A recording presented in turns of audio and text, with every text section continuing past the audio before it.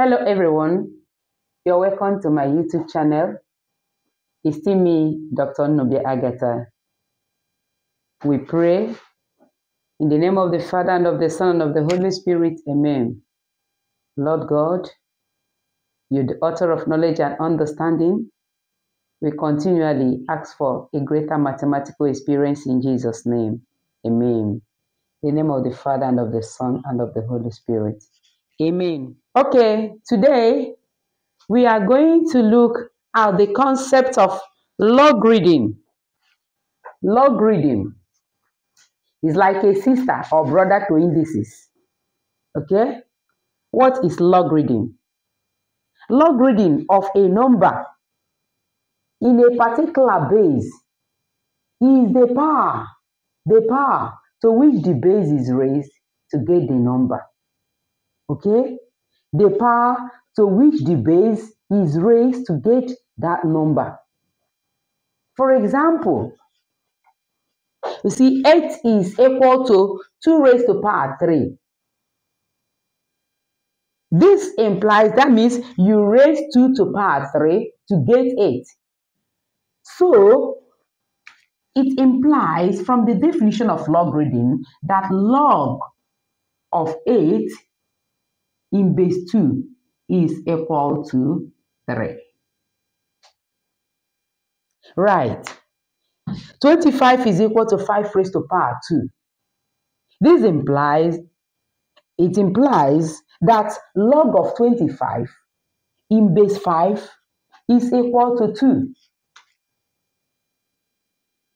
Log of 25 in base 5 is equal to 2.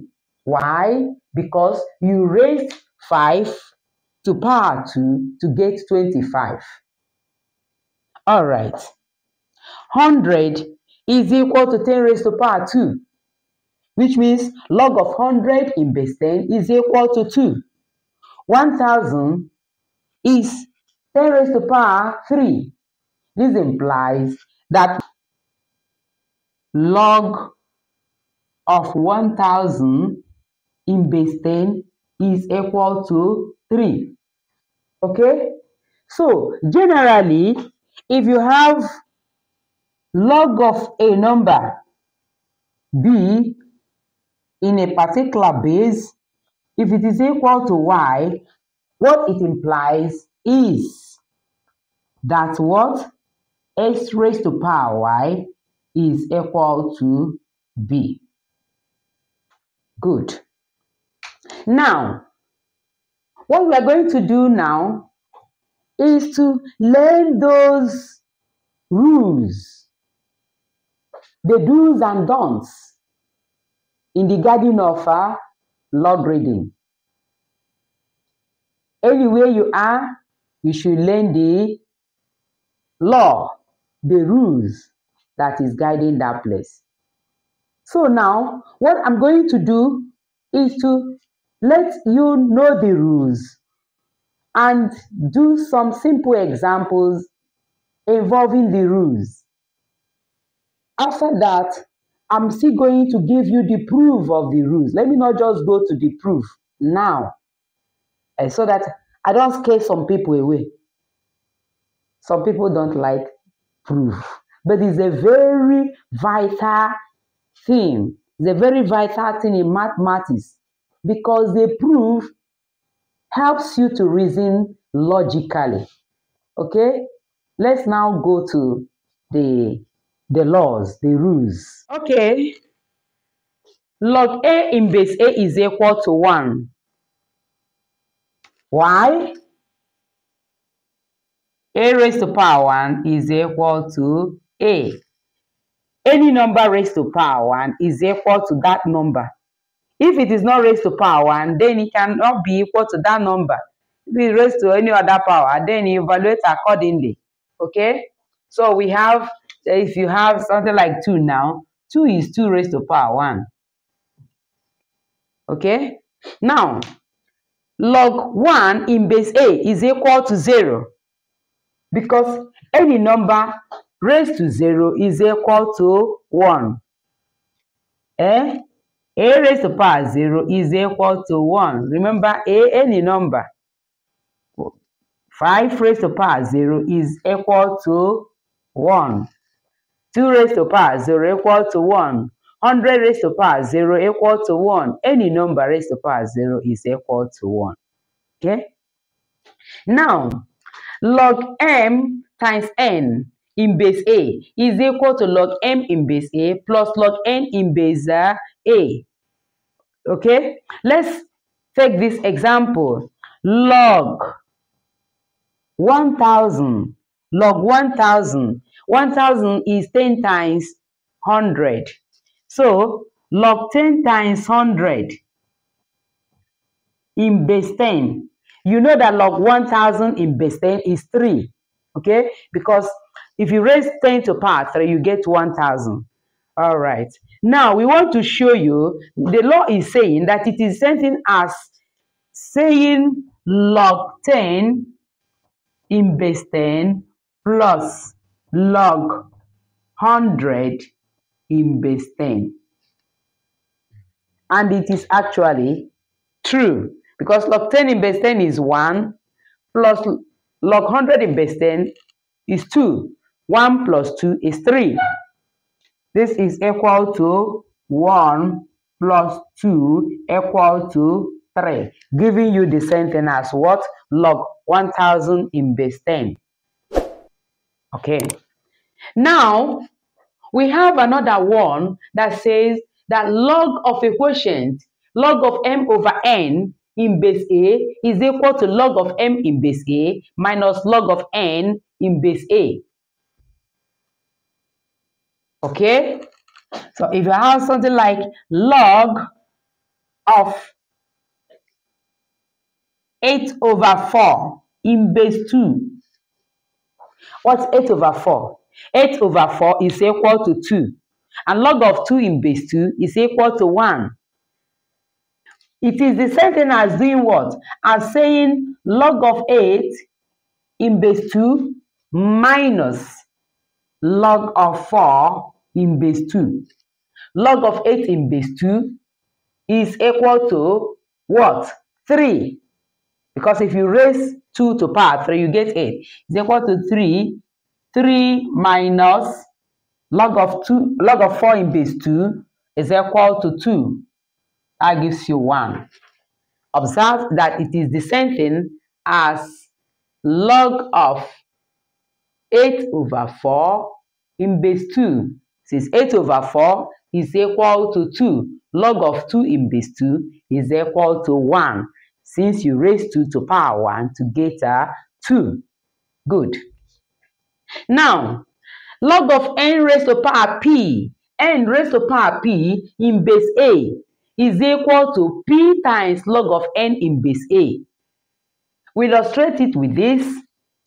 Say log of 81 in base 3. Log of 81 in base 3 is equal to 4. How?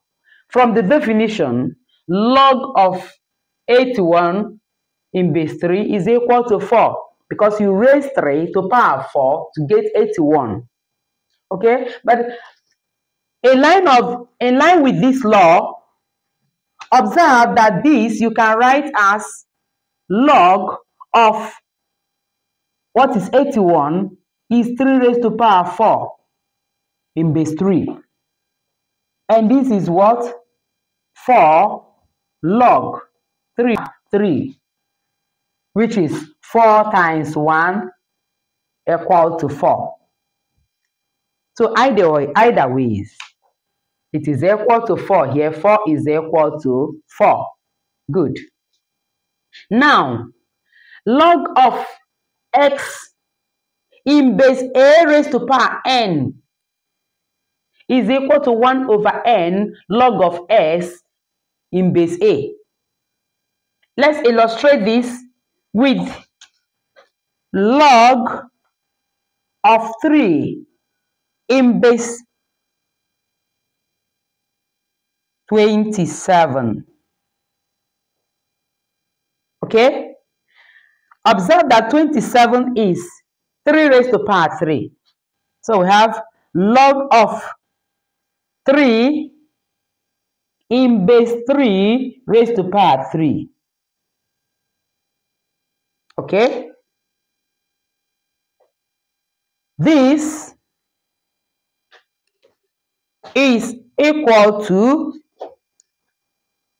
1 over 3 log of 3 in base 3 equal to 1 over 3. Okay, let us see, let's look at this example, this illustration again. Log of 3 in base 27. We want to evaluate it. Observe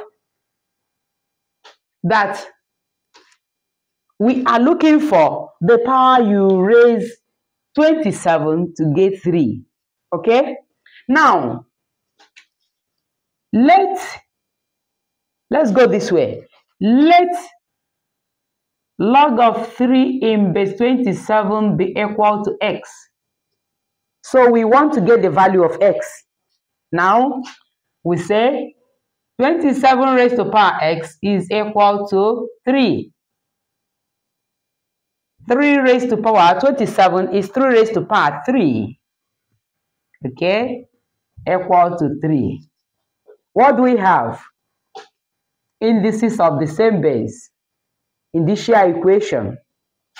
Therefore, 3x is equal to 1. What is x? Divide with the coefficient. x is equal to 1 over 3. Applying the law, see that it is uh, the same thing. Good. a raised to power log x in base a is equal to x. Hmm? So if you have something like this, say 2 raised to power log 5 in base 2 is equal to 5. Simple. Hmm? Observe that the log here, the base must be the same thing as this. Let's look at another example. If you have something like uh, 3 raised to power log 81 in base 9. You look at it, you find that this is 3, this other one is base 9. So they are not of the same base. But you can do something. 9, you know, is 3 raised to power 2. We have this 3 raised to power log 81 and base uh, 3 raised to power 2. Okay? And with the other law, we saw that this is the same thing as 3 1 over 2 log 81 in base 3. It's not yet of the form, it's not yet of that form. This is 3 raised to power log 81 81 raised to power half base 3 yes now it is of that form because here the coefficient of this thing should be 1 so we don't say it is equal to 81 here. No. It has to be the coefficient here should be 1 so we have this equal to 3 raised to the power log 81 raised to power half in base 3 now you have 3 here you have 3 here and this is 1 here. So this is now of the form of, of the above form and so you have this as what? 81 raised to power half, which is the same thing as uh, 9. That's square root of 81. That's 9. So we have another one. We call it transformation rule. Log of b in base m is equal to log of b in base a over log of m in base a. We normally use this when we want to change the base of a particular logarithm given to you. You can do that. You can change your base to your desired to a desired base but do it properly okay Like this one now is to is changed to base A. So you have log of b in base m is equal to log of b in base A over log of b over log of m in base A. Supposing the desired base is uh, base b, you have that. Okay? For example, if you have something like uh, log of, uh, say, 3 in base 2, log of 3 in base 2 is equal to 1 over log of 2 in base 3. Okay, depending on the problem you are solving, if you want to change your base to base 3, that is what you do. So we end it here for today. Thank you for being part of us. I still call on you to subscribe. If this is your first time of being here with us, subscribe to my channel and may God bless us all in Jesus' name. Amen. Bye.